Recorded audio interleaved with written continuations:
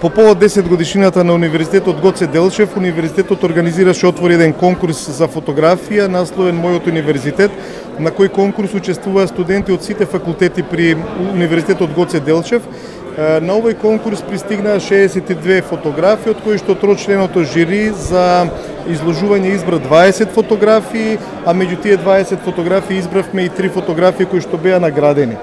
Прва, втора и трета награда Првата награда ја доби студентот од Ликовната академија господинот Смилков, втората награда ја доби студентот од Филмската академија Халид Ходжич и третата награда ја доби студентот од Музичката академија Горан Србиновски.